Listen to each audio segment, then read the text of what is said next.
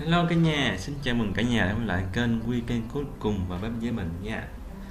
Hôm nay à, uh, Quy sẽ giới thiệu cả nhà một món ăn rất là ngon nổi tiếng từ xứ sở chùa về đó là món xôi xoài Thái Lan. Rất ngon và thơm mọi người ơi. Mọi người cùng vào bếp với mình nha.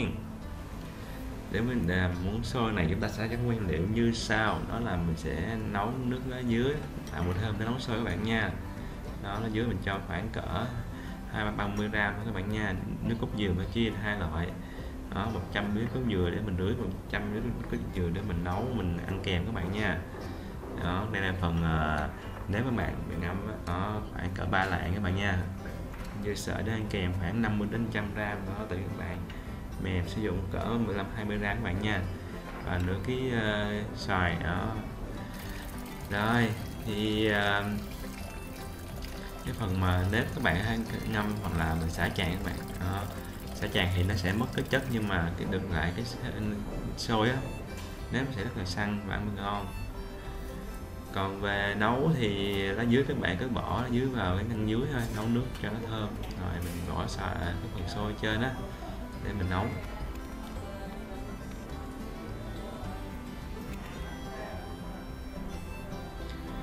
Rồi mở lửa lên và chuẩn bị nấu nè các bạn ơi. Thổi lửa lên. Rồi sau khi nước đã sôi rồi thì mình chuẩn bị cho nếp vào các bạn nha. Các bạn có thể để một cái khay inox hoặc là một cái lá chuối nó xen dưới được. Mình nấu vừa thơm mà. À, mà nếp nó ngon nữa. Đó.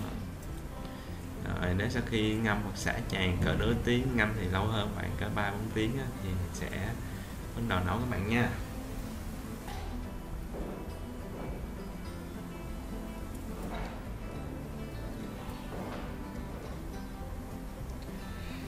Thì cái món xôi này á, là ngon là, là thú vị á, là ngon ở chỗ là cái phần xôi các bạn rất dẻo thơm mùi nước cốt dừa đó. Thì cái phần mà nấu này mình sẽ làm hai loại để các bạn thấy.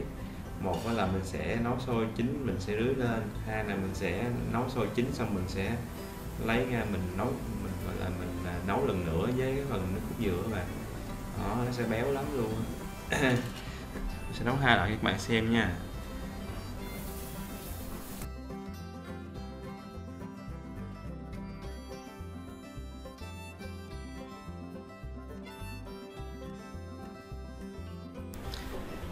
Trong khi chờ đợi cái phần uh, sôi chính thì mình nấu sôi trong khoảng cỡ 20 phút các bạn nha. Đó thì mình sẽ gọt cái phần trái xoài xoài các bạn có thể loại lựa xoài thái hoặc là xoài cát uh, của mình đó, ở các ờ, hoa lọc các chu vậy đó, đó thì rất là đẹp ngon các bạn nha.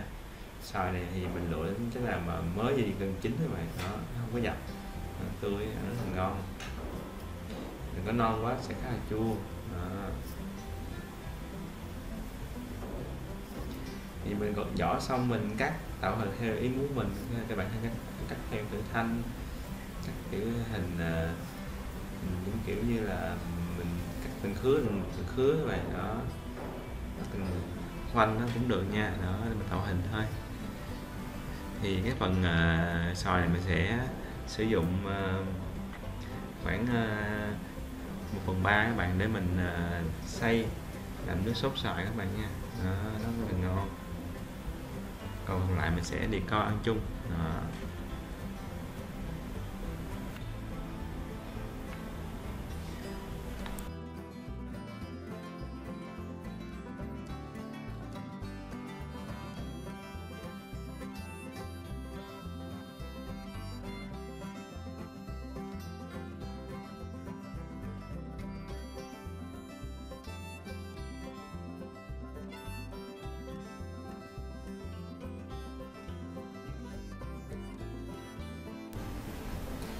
Rồi thì mình sẽ, sẽ lấy một phần xoài ra để mình xay các bạn nha.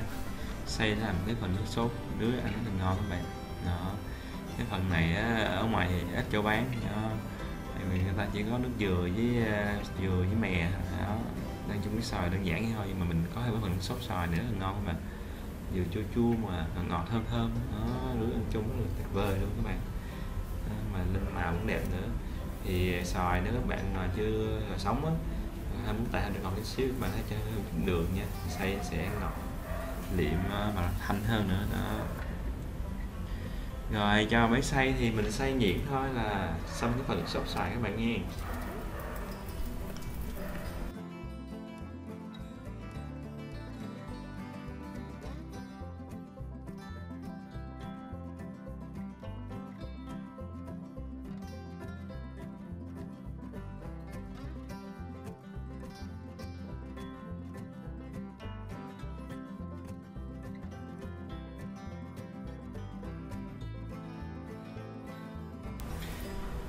Rồi và sau hơn 15 phút thì sâu mình đã bắt đầu chín rồi các bạn ơi Đó.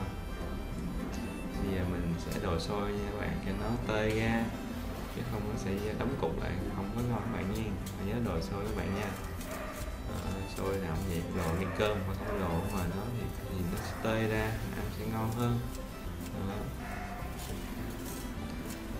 Dạ, cái phần sôi đồ xong rồi mình sẽ lấy phần nửa ra mình à, nấu với phần nước cốt dừa.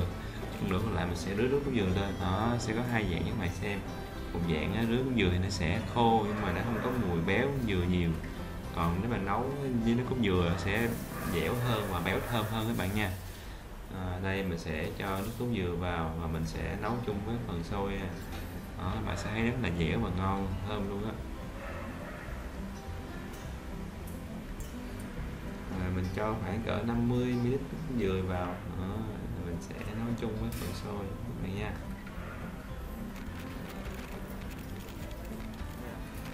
Đấy, đó hai phút rồi đó bây giờ sôi dính rồi mình sẽ cho sôi vào. Để mình à, nấu chung với nước cốt dừa. Ăn rất là béo và thơm.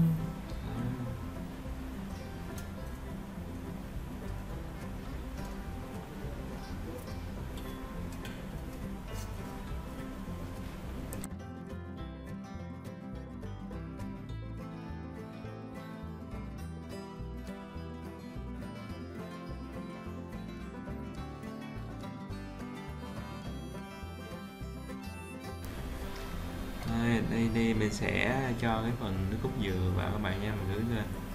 Đó. đó cái này là cánh à, đầu tiên cho các bạn xem. Rưới dừa lên mình đảo đều lên thôi. Đó.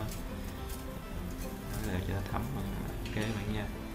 Rồi, cái thứ hai mình sẽ lấy sơ ra mình nấu chung với nước cốt dừa thôi. Phần cái này cái này thì nó sẽ khô hơn cái thứ hai sẽ dẻo hơn. Đó đây các bạn thấy không đó mình cho sôi ra vào cái nước cốt dừa đó là mình làm mở lửa nhỏ nhỏ bạn nha. Rồi mình cứ đảo đều cho nó sôi nước cốt dừa nó hoàn quyện vào nhau nó dẻo rất là ngon và thơm. Bạn thêm thêm chút đường nữa nha cho nó béo và ngọt các bạn. Đó, nó tuyệt vời luôn. Các bạn nhớ đảo đều nha. Không nó sẽ dính ờ, mình phần đáy nóng phần đáy sẽ khét. Không, không tại vì sẽ không có ngon. Các bạn nhớ nha đảo đều cho hòa quyện vào nhau. Nó sạch lại là ok. Đó ăn thơm và ngon. Nó sẽ dẻo hơn nó, nó ướt hơn còn. Đó, mình cho đường vào nè nó nãy mình chưa cho đường và mình cho đường nhành luôn các bạn nha. Xíu đường thôi tạo vị ngọt hơn. Cái này sôi ngọt mà các bạn. Đảo đều cho nó ờ, sạch lại là ok các bạn nha.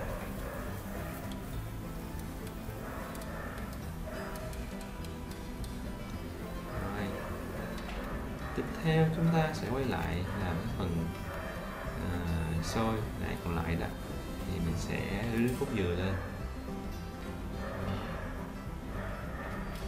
Sẽ rưới cốt dừa lên thì cái phần này sôi này sẽ không có thấm dừa bằng. Uh, nó sẽ khô hơn. Uh, nhưng mà nó cũng thơm các bạn nha. Thì Việt Nam mình đa số là cái cách này nhiều hơn tức là rưới cốt dừa các bạn nhanh gọn hơn.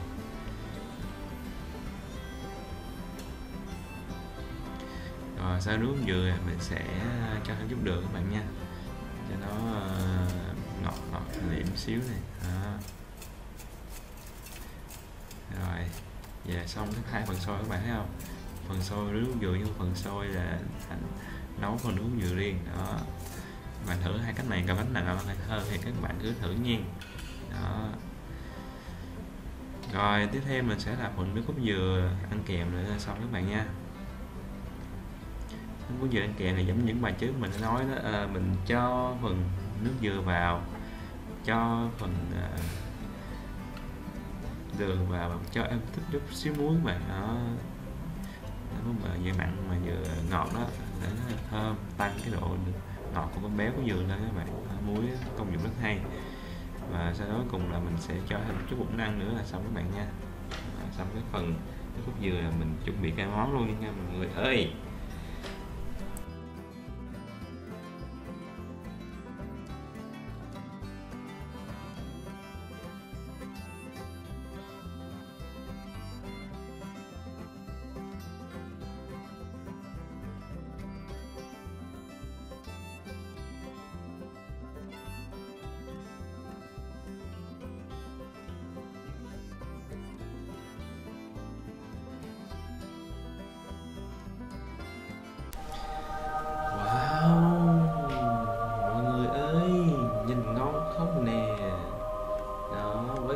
Xoài được trang trí ăn kèm xung quanh. Bên trong là nhân trái tim sôi rất là cô tê và dễ thương.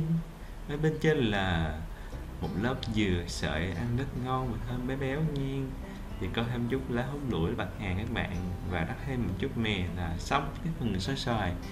Và đây chúng ta sẽ có hai phần sốt ăn kèm đó là sốt xoài lớp chua chua ngọt và lớp sốt uh, dừa. Ờ, Đó, cốt dừa rất là béo luôn các bạn nha. Ăn thì mình rưới lên thôi. Còn chờ gì nữa? Và không mà bếp chín ngày nào. Món xôi xuất phát từ đất nước xứ sở chùa vàng rất thơm và ngon. Cả nhà thử nhiên nó đơn giản thôi. Đó chỉ cần 15 phút là chúng ta đã có một món xôi xoài rất nhanh gọn. Rồi chúc cả nhà.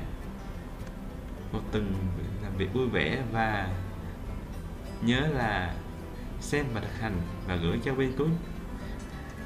Rất với nhen hẹn gặp cả nhà ở những clip sau. Nhớ là đăng ký, like, subscribe để ờ, quyên cứ có nhiều động lực ra nhiều thêm clip mới nha. Hẹn gặp cả nhà ở những clip sau. Bye bye.